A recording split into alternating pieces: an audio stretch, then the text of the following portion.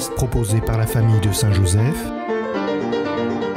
et présenté par le frère Dominique Joseph. Rien n'est plus difficile que de se mettre d'accord sur ce que c'est que l'amour. On est tous d'accord qu'il faut s'aimer, on est tous d'accord qu'on veut aimer comme il faut, mais l'idée qu'on s'en fait abrite généralement de grandes divergences de conception. Et ça n'est pas simplement un défaut de l'articulation entre une conception subjective et une définition objective, entre quelqu'un qui dirait aimer, c'est aimer de tout son cœur en faisant allusion au sentiment, et quelqu'un qui dirait voilà la définition de l'amour que donne saint Thomas d'Aquin. L'horizon de, la discussion est, beaucoup plus clivé que cela. Il me semble que le fond du problème est le rejet de la doctrine en elle-même. Vous savez, régulièrement dans, les journaux nationaux, euh, y compris la presse chrétienne, on voit apparaître des sondages qui nous disent où se situent les catholiques, pour qui les catholiques ont voté, ou qu'est-ce que pensent les catholiques de tel projet, de, loi.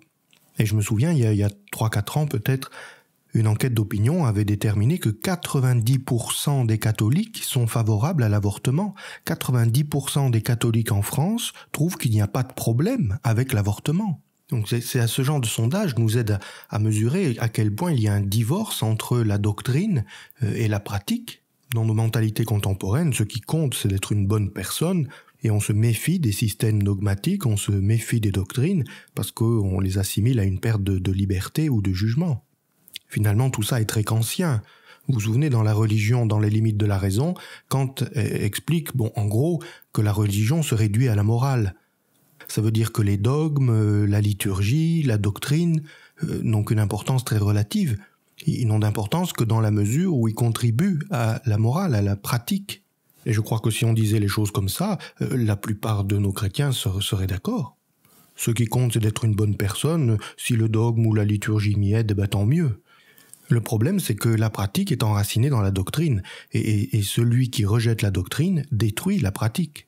Et, je crois que la question qu'est-ce qu'aimer ou comment aimer vraiment permet de, l'illustrer, de, faire sentir à quel point on a besoin de connaître et de s'enraciner dans une doctrine saine. Qu'est-ce que ça veut dire qu'aimer l'autre? Être gentil avec l'autre de telle manière à ce qu'il soit gentil avec nous? Mais c'est du commerce. Aristote lui-même, en dehors d'un contexte chrétien, Aristote lui-même le reconnaissait, et il mettait euh, l'amour conjugal euh, dans une place inférieure à, l'amitié, parce qu'il disait les époux ne peuvent pas être l'image de l'amour le plus grand et le plus pur, puisqu'ils ont trop besoin de l'autre, ils sont trop intéressés à ce que l'autre l'aime.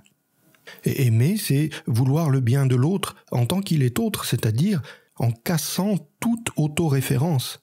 Quand j'aime quelqu'un, je lui donne ou je me donne en fonction de lui, en fonction de ce qui est bon pour lui. Et cette définition fait apparaître clairement qu'on ne peut pas aimer sans Dieu parce que Dieu est le seul qui n'a besoin de personne, Dieu est le seul qui n'a besoin de rien.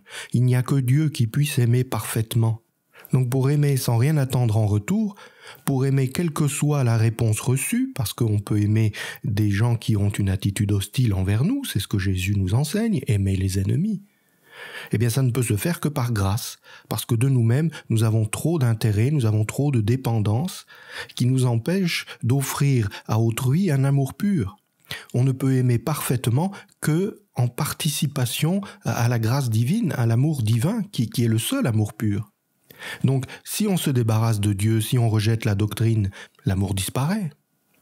Ou pour le dire autrement, l'amour que nous désirons vivre, l'amour que nous admirons dans l'ordre moral, est une réalité théologique qui est décrite par la vérité doctrinale. Si je n'écoute pas l'enseignement de l'Église, je ne saurais pas quelle est cette réalité et comment m'y prendre pour la vivre, alors même que je la désire.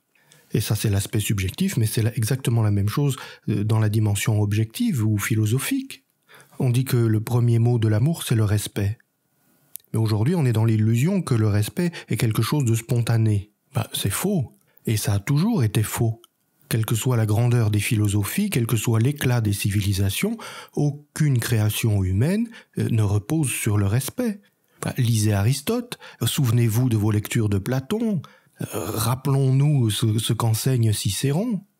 Dans les grandes cultures, les hommes ne sont pas sur un pied euh, d'égale dignité. Il y a quelques aristocrates qui ont des droits et les autres y font ce qu'on leur dit de faire. Il y a des enfants qui ont le droit de vivre parce qu'ils sont saints, parce qu'ils sont forts, parce qu'ils sont bien formés, mais les autres qui sont abandonnés. Et je parle là des questions philosophiques, mais c'est vrai aussi pour les questions politiques. Regardez tous les grands totalitarismes athées que nous avons connus au XXe siècle. C'est des carnages par millions de personnes. Ceux qui ne pensent pas bien sont mis au banc de la société, ils sont éliminés.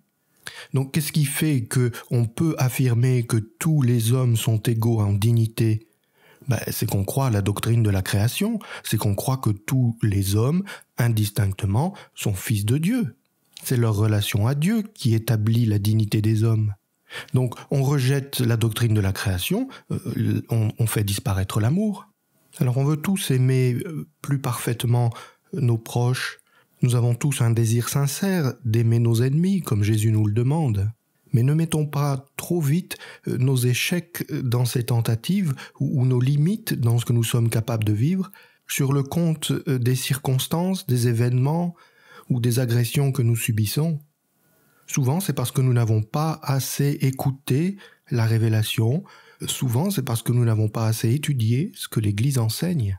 Parce que toute éthique, toute bonne pratique est enracinée dans une saine doctrine. Frères et sœurs, il est midi, l'ange du Seigneur porte l'annonce à Marie.